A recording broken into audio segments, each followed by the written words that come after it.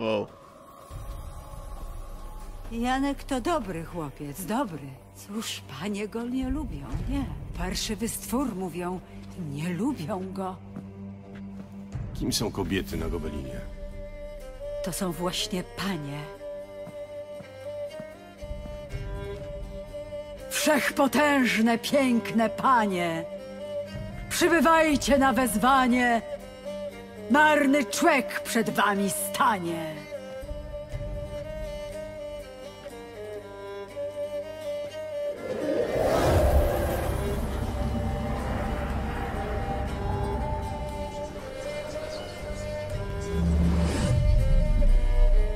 Jak śmiesz zakłócać nam spokój, kobieto?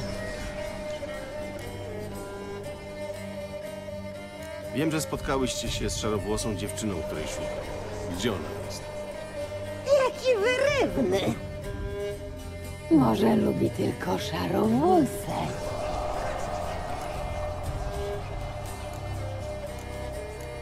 Ta dziewczyna jest moją przybraną córką. No, jeżeli ponętna, to nie przeszkadza. Mnie przeszkadza. Jaki wrażliwy. Może się jak piwo w kadzi. Lubię takich.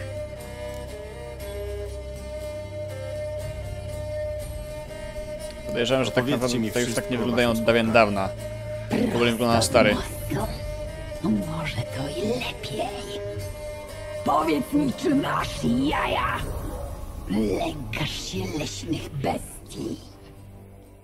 Ciężkie czasy nastały białowłosy. Człek wystąpił przeciw człekowi. W ziemi wsiąka krew. Zło jest silniejsze niż kiedykolwiek.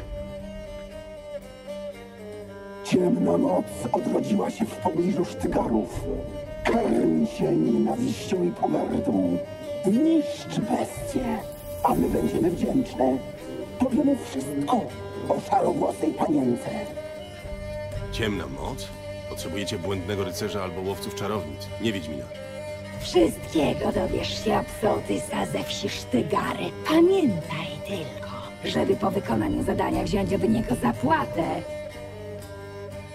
A teraz nasza służka przyniesie ci sztylet. Sztylet? Po co? Pokaż sztylet, a sołtys będzie wiedział, że przechodzisz od nas. Pomoże ci we wszystkim. Porozmawiam z tym sołtysem, ale niczego nie obiecuję. Ruszaj się, kobieto. Podaj kawalerowi sztylet. A ty, białowłosy, wróć, gdy wykonasz zadanie.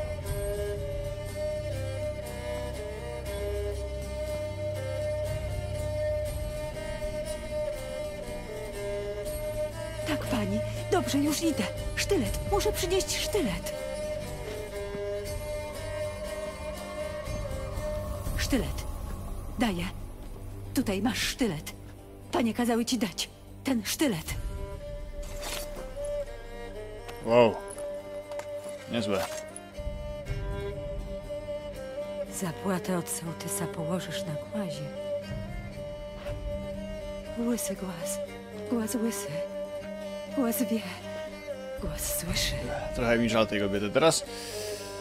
Okej, czas jest stąd zwinąć.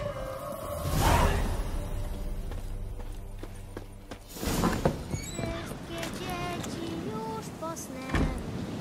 Cecja, cecja, cecja. Dobra. Zapis, a później lecimy dalej.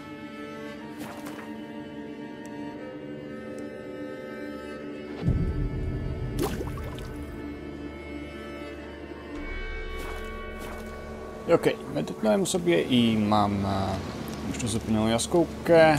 Teraz to dajmy. Gadę z tym, tym... E, dobra. Może już byłem w tych tam sztygarach? Nope. No cóż. Płatka do magii. Z tym łbem gryfa wygląda jak miała sukienkę.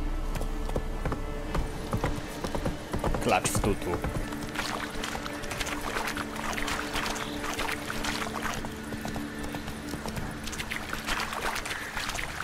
Kryjąc miejsce.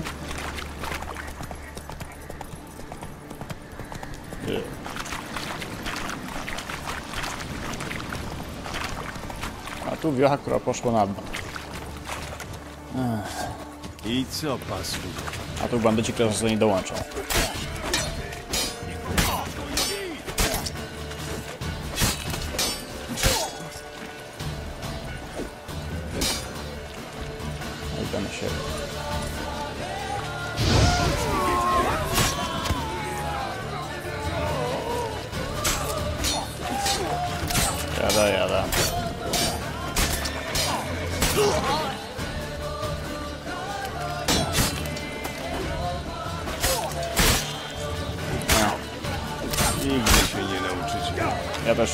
Też nigdy nie nauczę.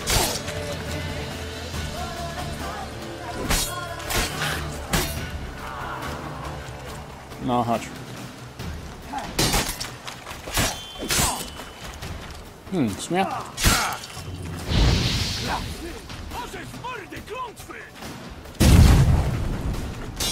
Yeah, cool guys don't look at explosions. Wow.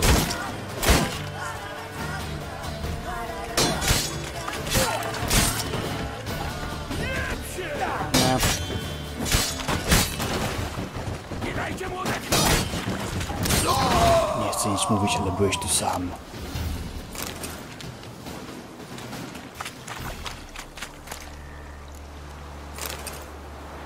Tępy topór i tępy właściciel.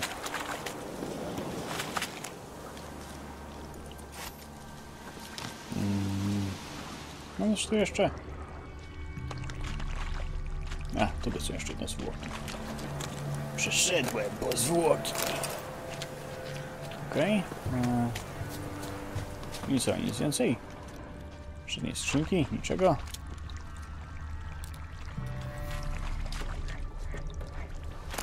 No proszę.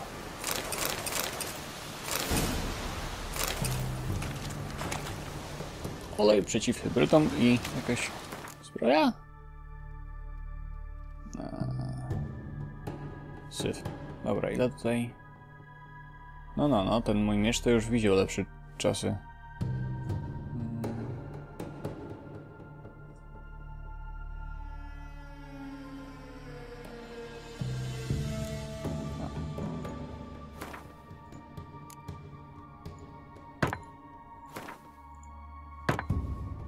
Tak lepiej.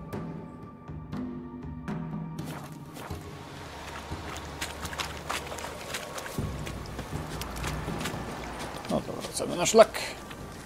Mówię. No. Ile mi tam zostało? Daleko wystarczyło tam się szlakiem. Dobra, jazda.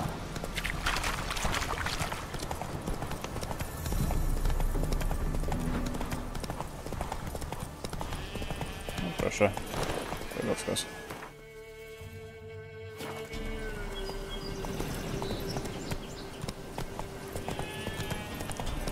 Przez chwilę myślałem, że te osy są częściowo niebieskie. A wy białogłosy, co się tak kręcicie? Krwawy baron wie o was? Wie, wie.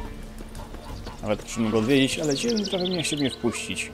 Hmm, ciekawe czemu.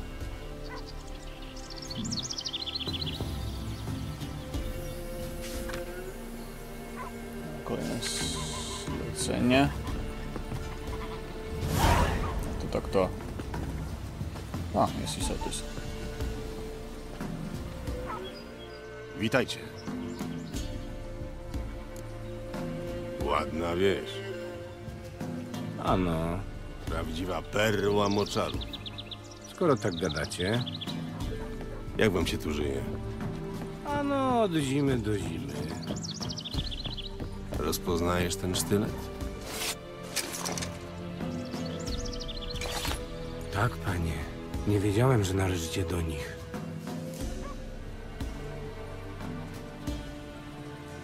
Wiesz, kto mnie przysyła. Dobrze, będzie łatwiej. Wybaczcie, ja nie wiedziałem, że przychodzicie od pań lasu. Często korzystacie z ich pomocy? Od postrzyżyn każdy jest ich. To się o nas troszczą. Surowe to panie, ale sprawiedliwe. Wymagają, ale przecież w życiu nic nie przychodzi łatwo. Kto przepędził morowe powietrze? Kto dał ziarno pod zasiew. Ludziska w Welen żują cholewki, a nam się jakoś darzy.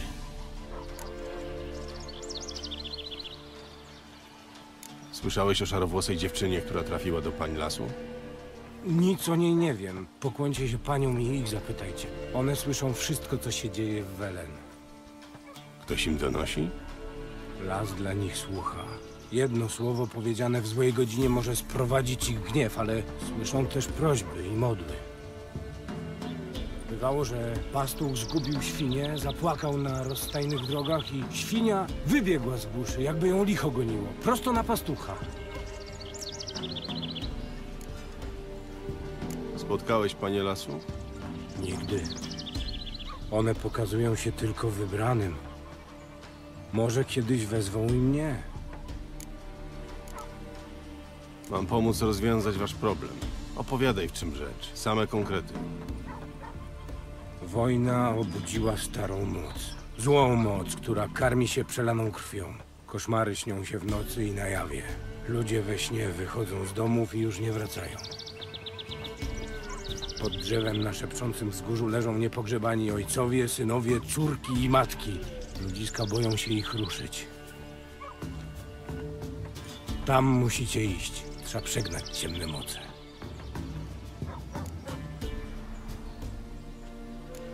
Więcej konkretów. Sami musicie to zobaczyć. Jeszcze prababka tłukła mnie kijem za szwendanie się po szepczącym wzgórzu. A to, co się teraz tam dzieje? Parę razy ludziska z okolicy się skrzyknęli, co by wyrżnąć drzewa i wypalić sparszywiałą ziemię do żywego, ale żaden nie wrócił. Grunt pod trawą jest biały od ludzkich kości. Kiedy się to wszystko zaczęło? Będzie trzy roki temu. Pamiętam ciepły dzień, poszedłem sprawdzić, co złapało się we wnyki. Wyciągam zająca z pułapki, a tu nagle ciemno się zrobiło, chociaż środek dnia był. Wpierw myślałem, że burza idzie. Pisk taki przebił powietrze, że mi w uszach popękało. Raptem zając gnił mi w rękach, a liście pożółkły, chociaż początek lata był. Od tamtego czasu źle się u nas działo. Ludziom zęby czerniały jak żagwie w ognisku. Baby swarliwe skakały sobie do oczu z byle powodu. No i dzieci. Kalekie się rodziły. Chrome. Strach i przekleństwo. Wtedy od dawna prosimy panie lasu o pomoc. No i teraz znalazły metodę na pomóc. Panie lasu nie wiedzą, co to za moce? One wszystko wiedzą. Stara Tekla orzekła, że zesłały karę, bo ludzie ich nie szanowali. Byli tacy, co je nawet wiedźmami zwali. Ale musi to nie one, skoro was przysłały. Rozejrzyj się po szepczącym wzgórzu. Jeno, uważajcie, panie. Nie traktujcie tego lekko. Nie planuję. Panie dobre, panie litościwe, skąd ta ufność w ludziach? Znów miałam ten sam sen. Idę przez las. Podążam za szeptem, co mnie prowadzi do tego starego drzewa na wzgórzu. A ja znam te wzgórze i te szepty. Zło straszne tam siedzi. A tobie mówiłam. Do guślarza idź. Niech jakie modły odczyni. Zsiadłe mleko, jaje, świeże jaje, czyste, w ogóle nie obesrane. Potrafisz zareklamować swój towar. Pokaż, czym handlujesz. Hmm, czyli samo żarło tak naprawdę. A, jest i alkohol. No i mogę sprzedać książki. Świetnie.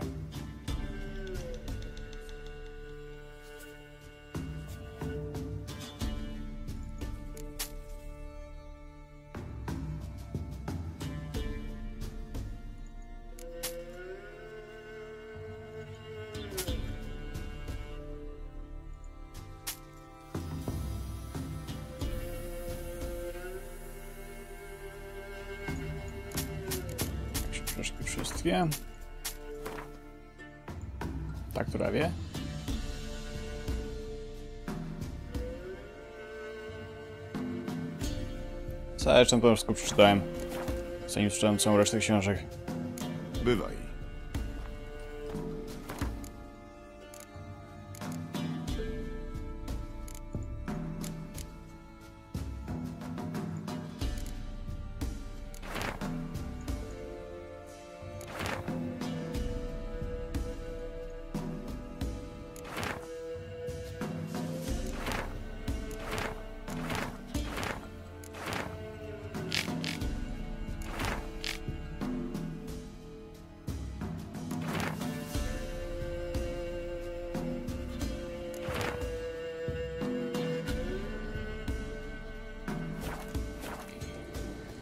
Teraz mogę sprzedać całą resztę. Siadłe mleko, jaje, świeże jaje. Pokaż czym handlujesz. Sio, sio, sio, sio, sio, sio, sio i sio. To sobie zatrzymam.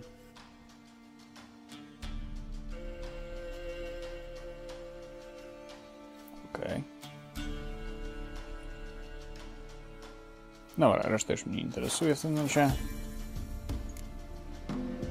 Bywaj.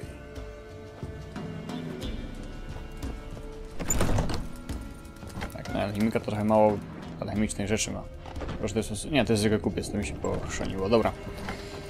Eee, zresztą skąd też alchemik w tej wiosce? Podejrzewam, że od razu podpadłby tym smoczarów krzywu, krzywuchowych leśnym paniom. Skoro jestem blisko, sprawdzę, co też ciekawego kryje się pod tym znakiem zapytania. Ale, najpierw przegrę.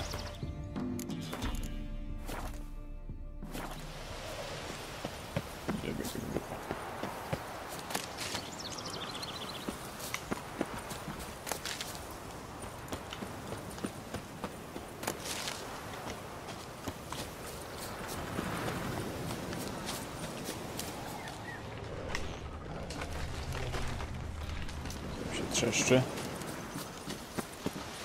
Co my tu mamy?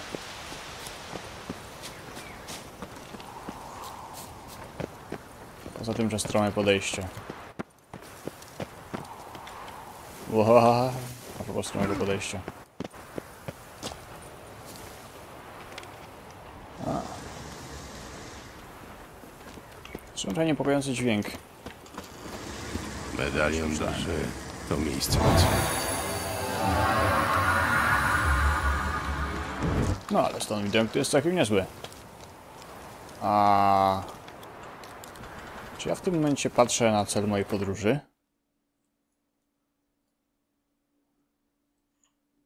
Hmm. Hmm. Nie.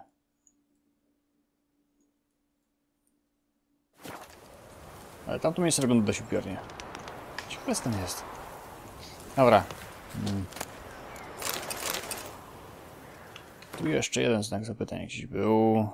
E, Nie no dobra, to się zaraz zamieni w wycieczkę po znakach zapytania. Wracam do wsi. Dobra, szybką podróżą dotarłem do sierocińca.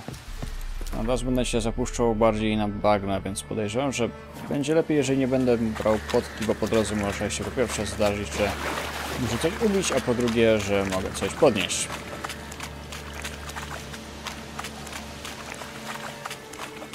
Chociaż tak naprawdę to równie e, możliwe jest to, że coś będzie próbowało ubić mnie. Ale się przekonany. Na razie nie ma ani jednego ani drugiego.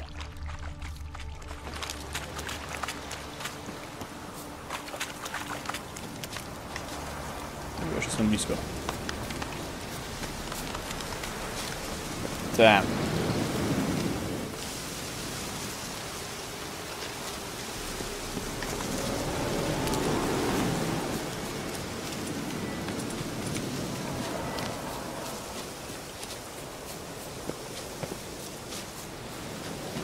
Co to jest? Odejdź. Wilkoła? Serio? Odejdź. Nie powstrzymam siły, która mnie ochrania.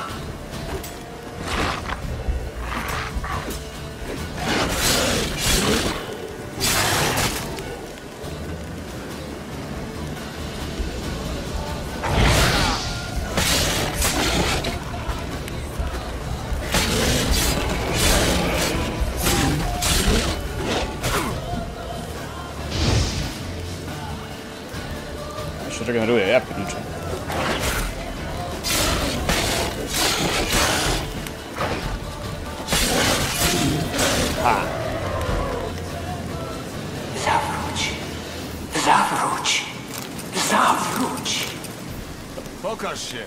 Chcę porozmawiać. Hmm. Odejdź. Odejdź. Odejdź.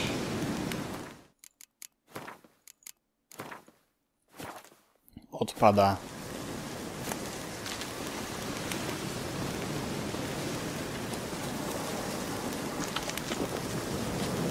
Mm, magia. To miejsce mocy.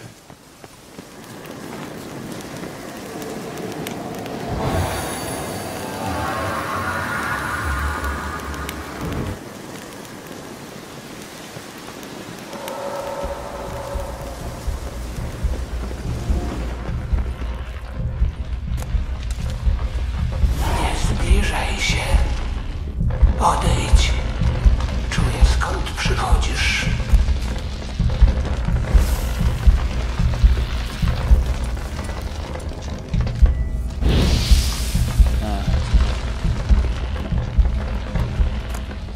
Moce, które mnie chronią, wiedzą skąd przychodzisz. No, ja we wsi. Ho,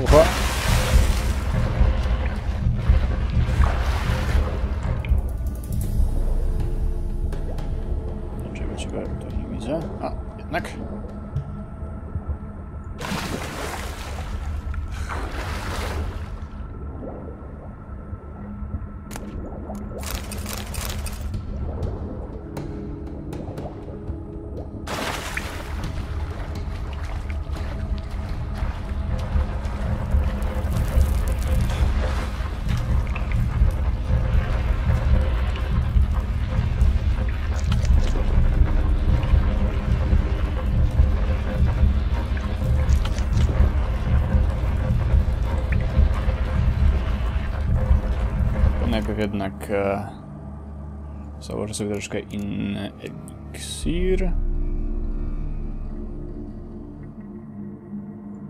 Mhm. Jeszcze jeden zapis. I lecimy.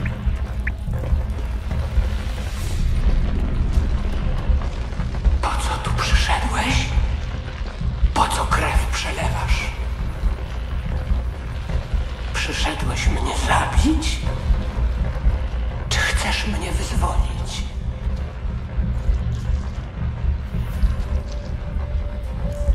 Zależy od ciebie. Zostałem zaatakowany. To jest me więzienie. Oblężona twierdza. Czekam na morderców. A mój las mnie chroni. Mordercy? Siostry morderczynie zabiły moje ciało. Teraz dręczą duszę, która się opiera. A, czyli to jest ta trzecia, czwarta pani lasu. Kim jesteś? Porzuciłam mój krąg. Strzegłam równowagi. Wiedźmy mnie zabiły, a ducha nie słyszałem o kręgu druickim w Wele. Na zawsze błądzę w labiryntach gałęzi. Bezsilna przemykam po płaszczyznach liści. Pewnie dobrze znasz wiedźmy. Są przekleństwem Welen. Słyszą przez odcięte uszy. Krzyżują losy, tkając przędzę z włosów. Czerpią siłę z wywaru. Ważą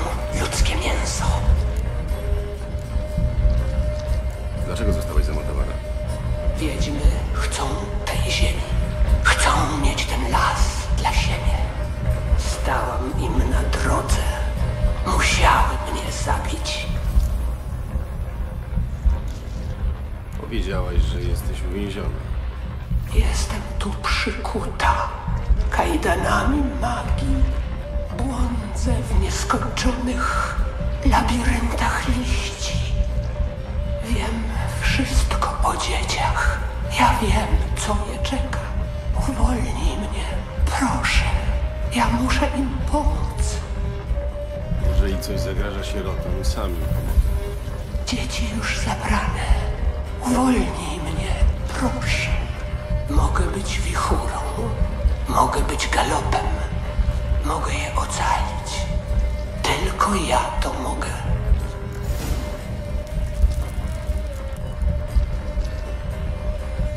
Dlaczego uważasz, że dzieci na polanie są w niebezpieczeństwie? Siostry je zabrały.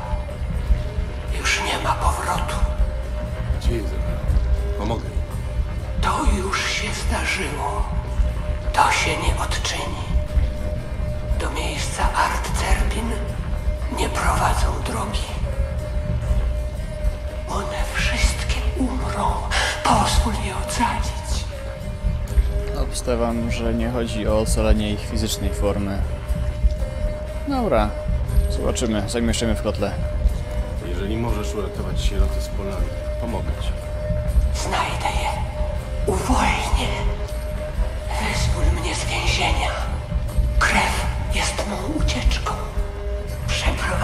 obrzęd z czernią kruczych piór, z bielą moich szczątków i z czarnym wierzchowcem.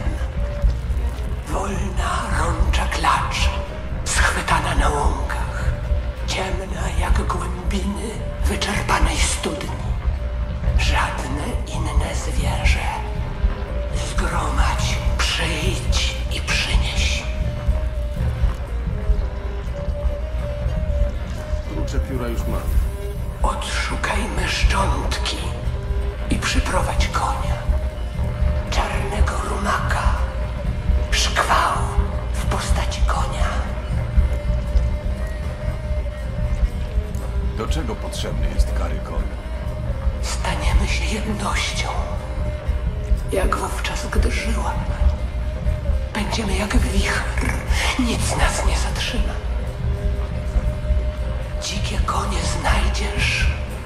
na podmokłych łąkach. Gdzie znajdę twoje szczątki? Moje kości spoczęły w samotnej mogile. Musisz iść na zachód, niedaleko stąd. Zgromadzę wszystko, co potrzeba, by cię uwolnić i wrócę. Zgromadź, przyjdź i przynieś do czeluści wzgórza. Tam, gdzie serce drzewa. Leje się krew. Zostanę pożarta, by znów się odrodzić. Wyjdź i wróć tym wyjściem, które otworzyłam.